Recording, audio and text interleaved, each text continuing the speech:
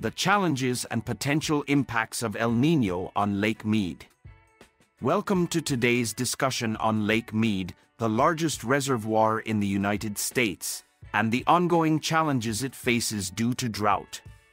In this video, we will explore the current state of Lake Mead, the historic agreement to reduce water usage, and the potential effects of El Nino on the water levels of the lake. Lake Mead and Hoover Dam Lake Mead, located behind the impressive Hoover Dam, is a vital water source and power generator. The dam, built during the Great Depression, stands at an impressive height of 726.4 feet and spans the Black Canyon between Nevada and Arizona. It serves as a crucial water source for cities in the Southwest, including Las Vegas and Los Angeles. Declining water levels and drought extended periods of drought and increasing demand have led to a significant decline in the water levels of Lake Mead. Currently, the water level is 1,054.53 feet above sea level, which is still 174.47 feet below its full pool capacity.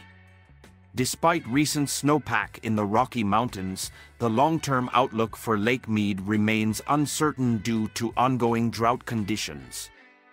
Historic agreement to reduce water usage after intense negotiations, California, Nevada, and Arizona have reached a historic agreement to reduce water usage from the overdraft Colorado River. The agreement involves giving up 3 million acre-feet of river water through 2026, approximately 13% of the current allocation.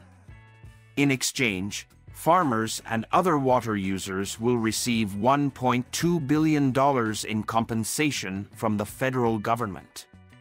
Challenges and long-term conservation measures while the agreement represents a significant step towards addressing the water supply crisis.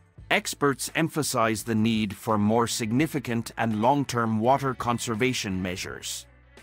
The current agreement saves approximately 1 million acre-feet per year, but experts suggest conserving at least twice that amount to ensure the sustainability of the water supply. Potential effects of El Nino on Lake Mead El Nino a climate pattern occurring as part of the El Nino Southern Oscillation.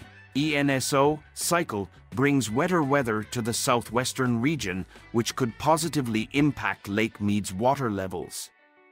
During El Nino, trade winds weaken, causing warm water to move eastward towards the west coast of the Americas. This increased rainfall and snowpack can help replenish the lake's water levels, providing relief to the water-stressed region. Implications and precautions While the potential arrival of El Nino is seen as positive news for the water levels of Lake Mead, there are concerns about associated risks, such as flooding and mudslides regions must be prepared and effectively manage their resources and infrastructure to mitigate these risks. It is crucial for affected communities to take necessary precautions and ensure ongoing recovery efforts from previous flooding incidents.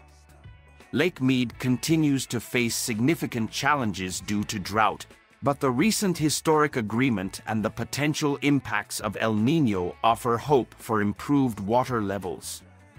It is essential to remain vigilant, implement long-term conservation measures, and be prepared for the potential risks associated with climate patterns like El Nino. Thank you for watching, and remember to subscribe to our channel for more insightful content.